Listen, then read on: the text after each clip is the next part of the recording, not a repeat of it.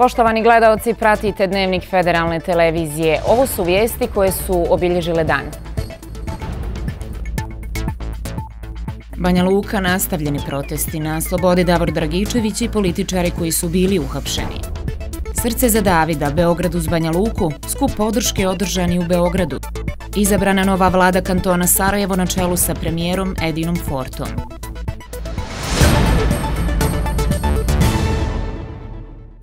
Uz jake policijske snage, protesti u Banjoj Luci nastavljeni su i danas. Davor Dragičević i još nekoliko stotina građana krenuli su prema rijeci gdje je pronađeno tijelo Davida Dragičevića. Više detalja ima kolegica Lejla Džin koju uključujemo. Lejla, šta se tamo tačno dešavalo? Šta je to Davor poručio?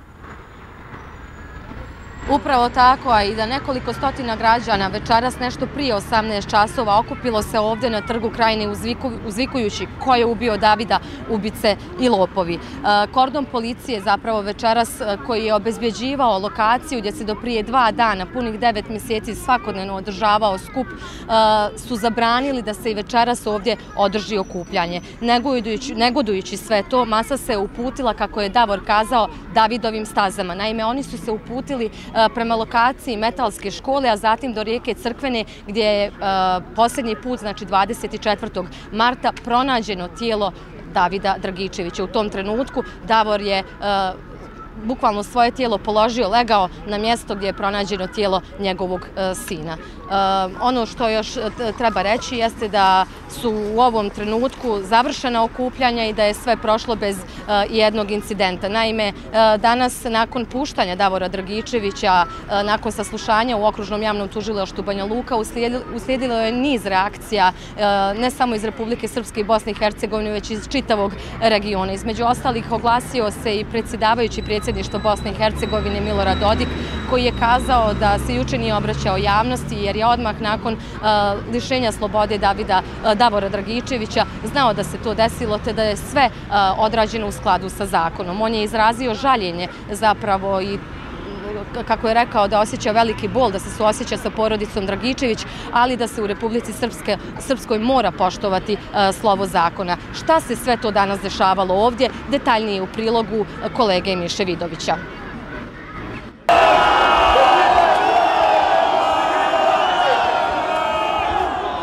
Članovima grupe Pravda za Davida, Davoru Dragičeviću kao i drugim građanima večeras u 18 sati nije bilo dozvoljeno da se okupe na trgu krajine.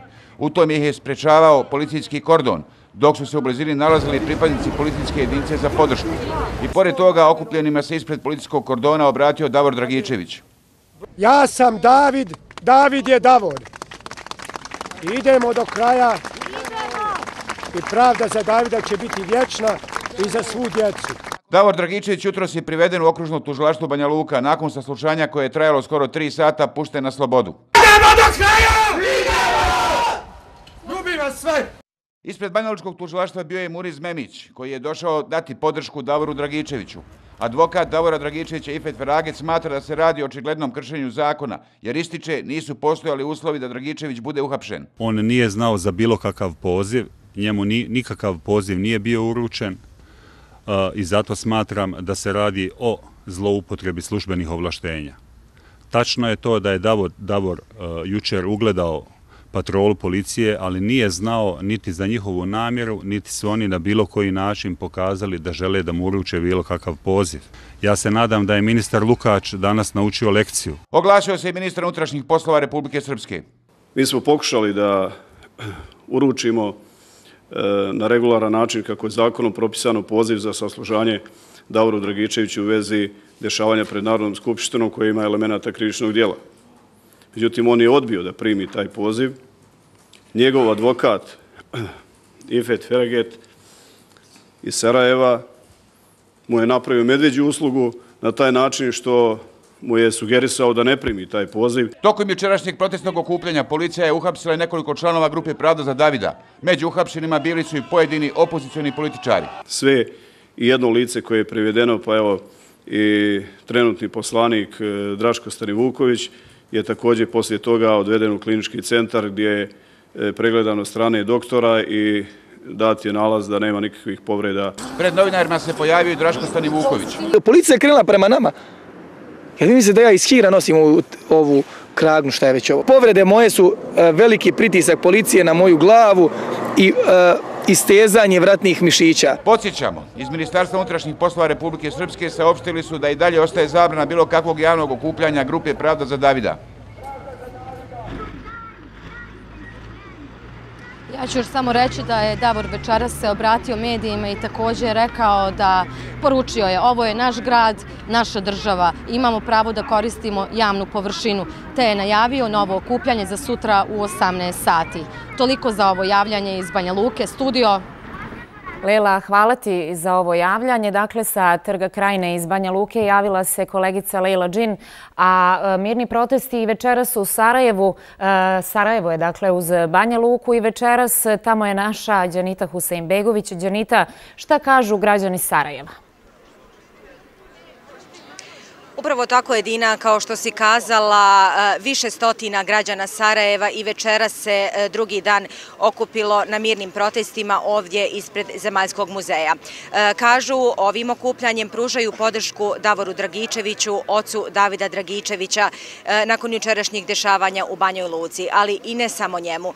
Ovim žele pružiti podršku i Murizu Memiću, ocu stradalog Dženana Memića, koji gotovo tri godine traži da se rasvijeti slučaj stradanja njegovog njegovog sina Dženana Memića. E, ovdje su se sve vrijeme od kad su počeli protesti, a to je od 19 sati, mogli čuti povici pravda, pravda, pravda za Davida, pravda za Dženana, ali i svu našu djecu. E, naši sugrađani ovdje su se prisjetili i stradalih studentica Edite i Selme, e, ali i tragično stradale majke dvoje djece Have Dovađije. E, mi smo malo čas razgovarali i sa e, Murizom Memićem koji je, kao što smo čuli u prethodnom prilogu iz Banja Luke, e, bio danas tamo, razgovarao je sa Davorom i kako je rekao, oni od svoje borbe neće odustati. Predlažem da u izjevi koja slijedi pogledamo šta nam je još kazao Muriz Memić. Pa evo, kao što sam rekao, išao sam da dam podršku Davoru Dragićeviću. Evo, jutro se Davor izašao, znači pustili su ga, nije ostao u pritvoru što je bilo i za očekivat, jer oni nisu ni imali naloga da Davora uhapse, a evo vidimo na šta su spremni. Oni bi sad sprovodili pravdu, a pustili su Davora devet mjeseci da se muči i da organizuje proteste.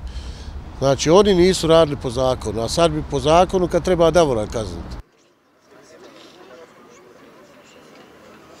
Za razliku od jučerašnjih protesta ovdje ispred Zemaljskog muzeja u Sarajevu, kada je bila blokirana glavna saobraćajnica, e, večeras je e, saobraćaj prohodan, tu je veliki broj policije koji ne dozvoljava da se saobraćaj blokira. Građani su se, kako sam kazala, okupili mirno da pruže podršku e, Davoru Dragičeviću, ali i Murizu Memiću u borbi za pravdu. Za sada nema naznaka da li će se protesti nastaviti i sutra. Evo toliko iz Sarajeva, ispred zgrade Zemaljskog muzeja ukoliko nema dodatnih pitanja. Edina? Nema dodatnih pitanja. Đanita, hvala ti za ovo javljanje. Dakle, ispred zgrade Zemaljskog muzeja u Sarajevu javila se naša Đanita Husein-Begović. Pravda, pravda, čulo se širom Bosne i Hercegovine. Nakon Sarajeva i Banje Luke, slikom ćemo do Tuzle i Mostara, gdje također traju skupovi podrške grupi Pravda za Davida. E, najprije ćemo do, e, do Tuzle, tamo je naš e, Dino Durmić. Dino, koliko se građana okupilo u Tuzli večeras?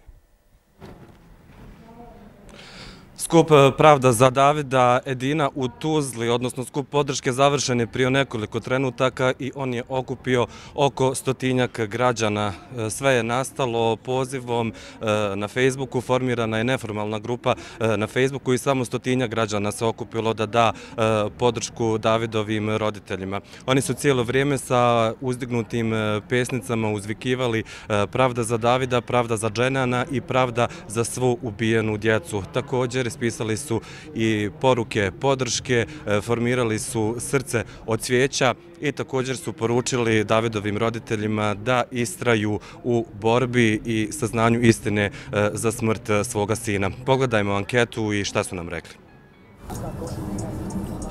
Došli smo i mi da e, damo svoj doprinos u tome i svoje drugoj djeci ubijenoj izašao se da izdam podršku Banja Luci i porodici Dragičević. A za one nemile događaje je sinoć sramota za Bosnu i Hercegovinu. Ja nisam zadovoljna sa odazivom, da se razumijem, a ipak trebalo više i omladine da izađe. Ja sam gledala i sinoć na TV, kad je prenos bio, vrlo malo omladine ima. Evo, vidite.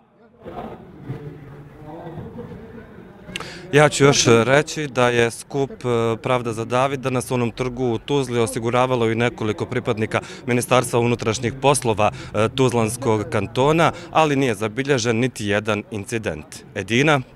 Dino, hvala ti. Mi odmah idemo i do Mostara gdje je naš Adla Dizdar Hođić. Adla, građani Mostara također su iskazali solidarnost sa grupom Pravda za Davida. Koliko se građana večeras okupilo u Mostaru? Pa bilo je ovdje u 18 sati na Španskom trgu nešto više od stotinu mostarki i mostaraca. Kako si kazala, došli su e, kako bi iskazali svoju podršku e, Davoru Dragičeviću, Suzanin Radanović, ali i Morizu Memiću, jer kažu najmanje što mogu učiniti za te dvije porodice e, jeste podržati ih i da je zapravo sramotno koliko dugo i kakve bitke te dvije porodice vode za pravdu i za istinu ono, onome što se njihovoj djeci desilo. Bilo je ovdje na trgu i dosta djece, neka od te djece su recimo znala stihove Davidove pjesme Klinac u getu, njihovi roditelji, ali i svi okupljeni kažu da su jako ljuti, razočarani i posebno revoltirani onim što se jučer dešavalo u Banja Luci. Zato i jesu večeras bili ovdje na trgu, okupili su se neformalno, skoro spontano, da tako kažem, preko društvenih mreža, uzikivali pravda, prisjećali se Davida, Dženana i kako kažem, ponovili E, kako se glas za tu ubijenu djecu mora dignuti. I kako kažu željeli su i onima koji nisu imali snage, odnosno koji su možda e, u nekom strahu e, da se u nekom narednom skupu pridruže i da i sami postanu dio toga E, da kažu i da zatraže pravdu za Davida i za Dženana. E, hoće li skupa u Mostaru biti e, sutra, to još ne znamo, kažem, neformalno su se i spontano okupili, to će vjerovatno zavisiti i od onoga što se u Banja Luci bude dešavalo. Ovdje na Španskom trgu ostaju gorjeti svijeće, ostaju Dženanova i Davidova slika, stajali su i proteklih mjeseci, ali evo sad su nekako ponovo u fokusu. Adla, hvala ti. Bile su ovo dakle kolege iz Tuzle i Mostara, Dino Durmić i Adla Dizdar Hođić. A nekoliko stotina Beograđana okupilo se danas na platovu ispred Filozofskog fakulteta na skupu Srce za Davida Beogradu uz Banju Luku. Poručili su im da istraju u borbi za dostojanstvo uprkos brutalnosti policije. Da pobedimo sile zla s ljubavi i srcem. Pravda za Davida! Okupljeni Beograđani pokazali su svoje srce za Davida. Mi smo želeli da simboličnom akcijom podržimo građane i građanke cele regije koja se nekada zvala Jugoslavija, jedne velike tvorevine koja se pretvorila u mnoštvo malih okupiranih i zarobljenih država. Mi želimo da solidarnošću ukažemo poštovanje za napore koje su simultano u povodom tragičnih dešavanja u Sarajevu i Banja Luci građani pokušali da povrate moć i poverenje u institucije. Treba svi da izađemo na ulice da bi uhvatili ubice ovaj, koje očigledno krije režim ovaj, Republike Srpske koji je veoma sličan režimu ovaj, koji je u Srbiji tako da hapšenja u Banja Luci su pokazali da vlast ne preza ni od čega i da je u stvari to posljedica jedne zarobljene države koja služi interesima političkih elita, a ne građanima. I ono što smo videli je jako velika policijska brutalnost, ali smo isto tako videli i jako veliki otpor i dostojanstvo građana i mi im danas poručujemo da istraju u toj borbi ja mislim da je pravo pitanje zašto bilo ko danas nije ovde. To je sve što ja imam da kažem. Kogod je video snimke šta se juče dešavalo u Banja Luci, ne bi smeo da ostane ravnodušan. Ne mešamo se unutrašnje poslove Bosne i Hercegovine, još se manje mešamo u unutrašnje stvari Republike Srpske, unutar Bosne i Hercegovine.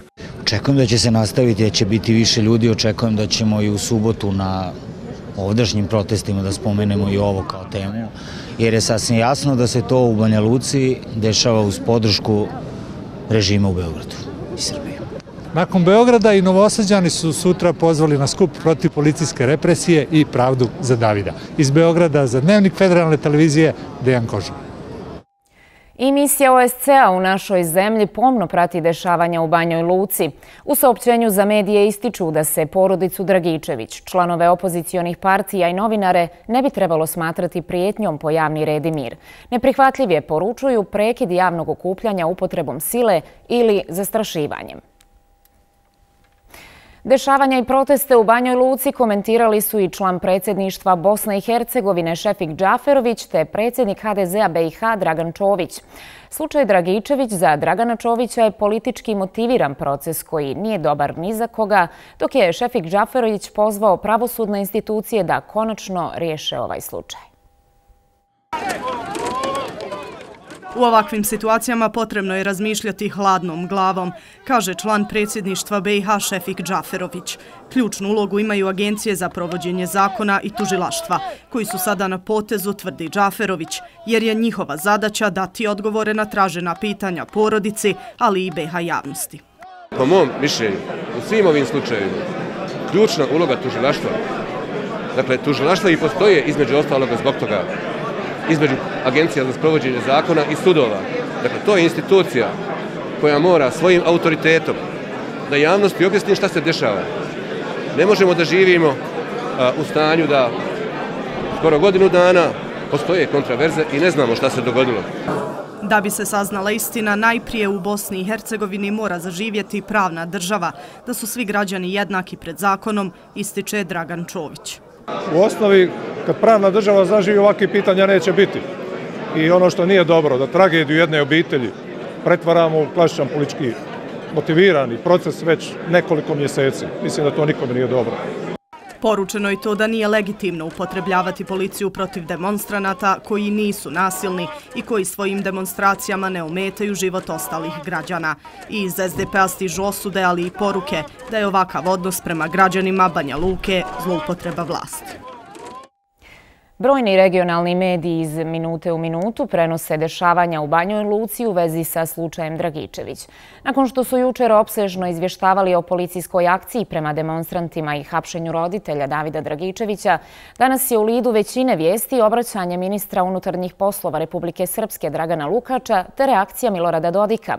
Veliki interes pokazali su i svjetski mediji i portali te agencije poput francuskog AFP-a, američkog AP-a te britanskog Reutersa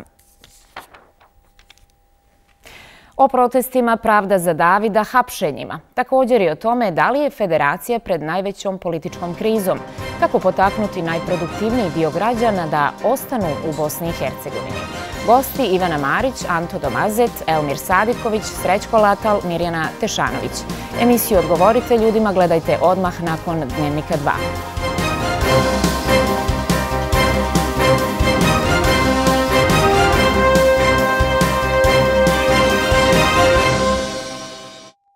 U nastavku i ostale vijesti. Skupština kantona Sarajevo imenovala je novu vladu sa Edinom Fortom iz naše stranke na čelu.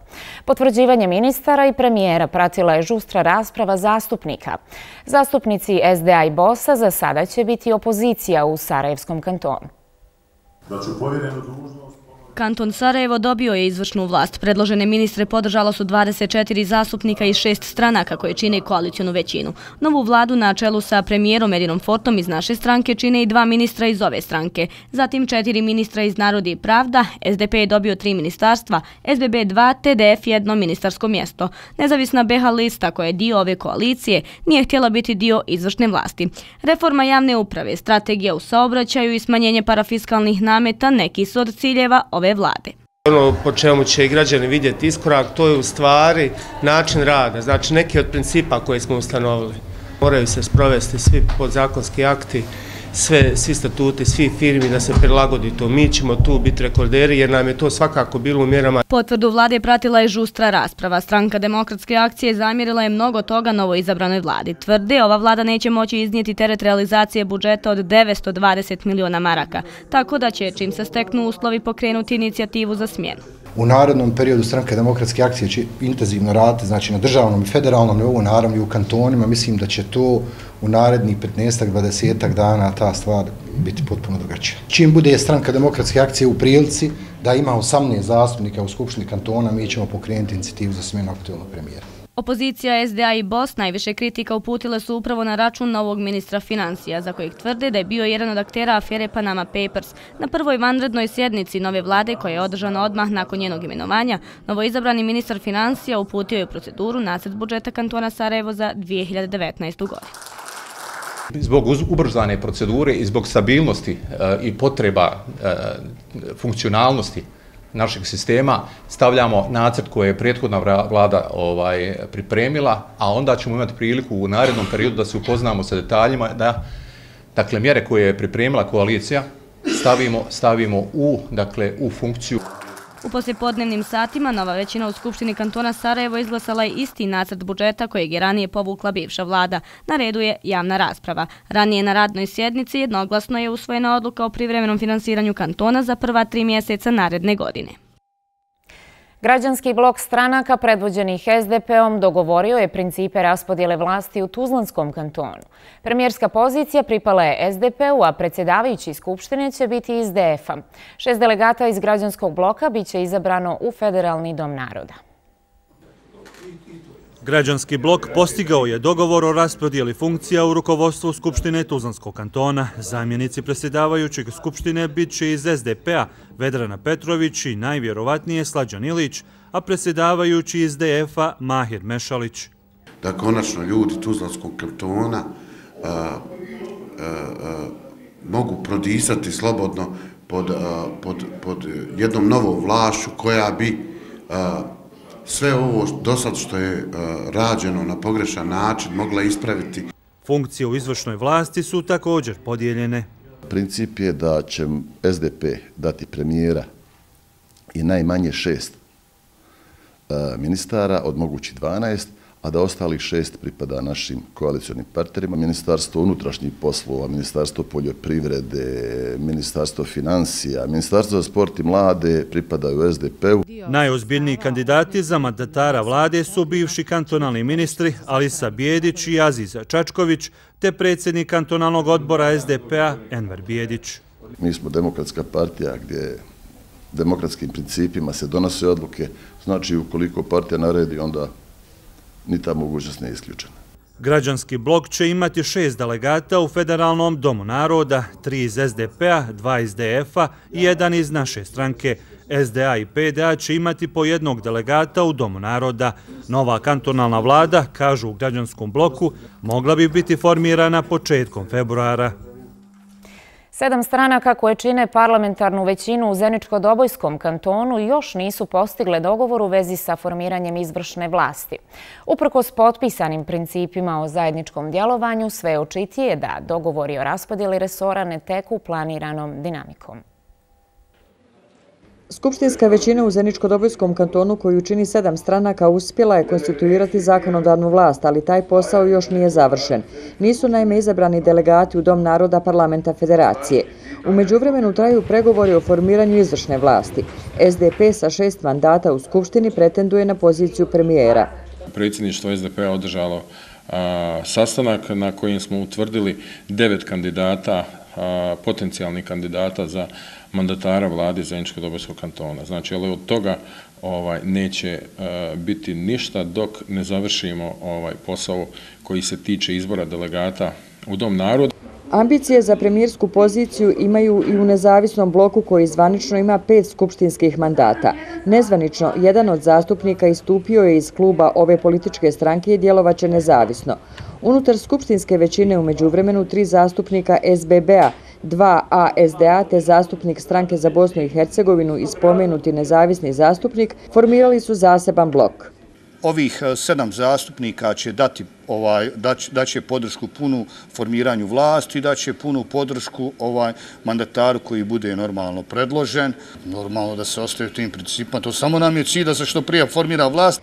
Formiranje zasebnog bloka unutar Skupštinske većine dodatni je test za potpisnice sporazuma o zajedničkom djelovanju, među kojima su, zbog izbora delegata za Federalni dom naroda, već prisutne tenzije. Prvo treba da završimo posao kad je u pitanju zakonodavna vlast, odnosno onaj dio posla ukoliko se zakaže sjednica e, na kojoj ćemo birati delegate e, za Dom naroda i Zeničko-Dobojskog kantona. Sporazum na kojem se temelji djelovanje Skupštinske većine nije ugrožen, tvrdi zastupnik Isak. Cilj je što prije početi konkretno djelovati.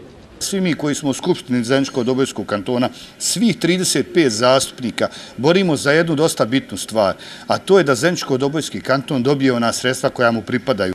Ovaj i svi drugi konkretni potezi za sada su na čekanju, jer je sudeći po trenutnom stanju borba za poziciju vlasti izabranim zvaničnicima u prvom planu. Informacija koju smo upravo dobili u blizini Sanskog mosta dogodila se saobraćajna nesreća u kojoj je vozač automobilom udario četvero djece, od kojih je dvoje, kako saznajemo, teže povrijeđeno. Više informacija imamo svakako u našem dnevniku 3. A nadbiskup vrh Bosanski, Vinko Kardinal Puljić, upriličio je božićni prijem kojim su prisustvovali brojni čelnici iz državnih i drugih struktura Bosne i Hercegovine, ali i mnogobrojne ličnosti iz kulturne, dobrotvorne, naučne oblasti, te pripadnici diplomatskog kora i međunarodnih predstavnika u Bosni i Hercegovini. Zahvalivši se svima na božićnim i novogodišnjim čestitkama, Kardinal Puljić je poručio da je potrebno izgraditi društvo po mjeri čovjeka u kojem će se svaki građanin osjećati sigurno sigurno i u kojem će biti poštovana građanska prava i čovjekovo dostojanstvo. Još jedna godina, 2018. prođe puna napetosti i nagomalanih neriješenih pitanja, posebno pitanje jednakopravnosti svakog čovjeka i svake etničke grupe. Previše je negativne klime u zraku. Svi osjećamo potrebu da se izgradi društvo po mjeri čovjeka, da se svaki građanin osjeća sigurnim za svoj identitet, za svoje ljudska i građanska prava i čovjekovo dostojanstvo, da svi mi budemo jednaki pred zakonom. Gledali ste Dnevnik, sportske minute donosi vam Emina Hođić. Hvala na povjerenju i ugodna večer.